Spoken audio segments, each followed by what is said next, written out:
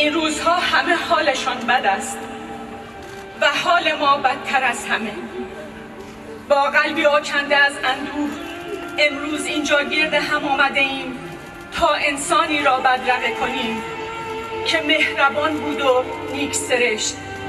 امین پدر فرزندانی بود که این روزها یکی یکی پرپر می شوند نه خار بود نه میلیاردها ذخیره داشت. وقتی از شمار تا جنوب شرق تا غرب از آدن چی زر اینجا. اون برادر من بود معلومه که بود. این یه دونه برادر به برادر چی؟